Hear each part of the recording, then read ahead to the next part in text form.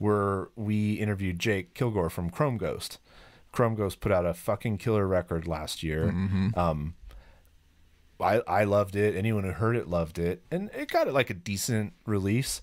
Um, Mike Scheidt like retweets or reposts, "Hey, I really this record is really fucking amazing." And Jake told me that like the the next day it was just like they're like views, streams, purchases like completely spiked.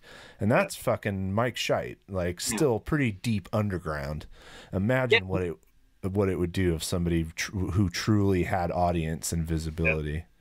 Well, that's all the thing. I mean, that that's all it takes. Yeah. It's like it's a tweet or a post on Facebook. Yep. You know, like it doesn't take a lot to support smaller up and coming Yeah, you don't have to do a three-hour podcast. no. But it helps.